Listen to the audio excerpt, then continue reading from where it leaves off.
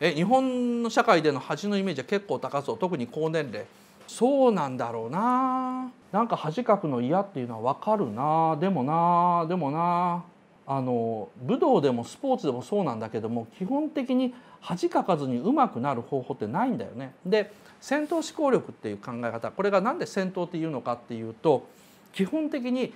人と話して相手を倒すという意味じゃないんだ。武道っていうのは技の掛け合いのところもあるし空気を見るっていうのもあるじゃん。で誰かと話す時にさ頭の回転を戦闘思考力ではハイギアとに上げるとローギアに落とすっていうのをやるんだけどもハイギアに上げたり落としたりしないとその人が言ってることに共感するローギアとその人が言おうとしてることを飲み込んで先に考えるハイギアっていうのが使いこなさないとなかなかね他人の問題っていうのが理解できないしあと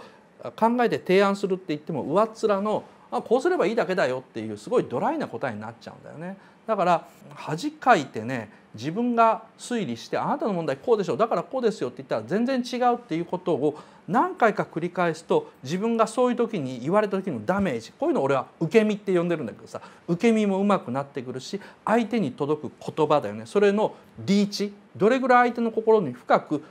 送り込めるかっていうリーチも伸びるしあの破壊力も大きくなるそれで相手を傷つけずにその問題の中心をこう破壊するような形で持っていければ人間ってさ凝り固まったいろんな悩みって思ってることってさあこうでもこうでもこうでもこうって複合的でなんか結びがギュッとやってるようなもんだよね。個々の問題自体は糸みたいに細いんだけどそれがこう絡まっちゃって結べになっちゃってほどけないいわゆるゴルディアスの結べ状態になってるこういうこんがらがっちゃってる概念のことをコンプレックスっていうふうに言うんだけどこのコンプレックスっていうの解消はやっぱ一種のショック療法で意外なところからの言葉っていうのをポンって置いていくしかないと思うので、えー、なんか戦闘思考力も皆さん鍛えてくださいという宣伝でありました。